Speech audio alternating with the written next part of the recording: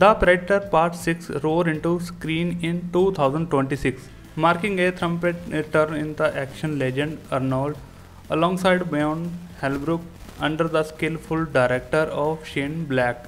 Is the thrilling installment promise a nostalgic reunion with the Arnold's iconic character, weighing toward the ancients of the original will introduce fresh, hard-pudding element. Holbrook add a new layer of intensity to the dynamic cast, ensuring fans the relentless is the gripping sci-fi adventure. Director Shane Black know of the power of the genre, lead to the change, guarantee is a visual spectacle with the relentless suspense and explosive action.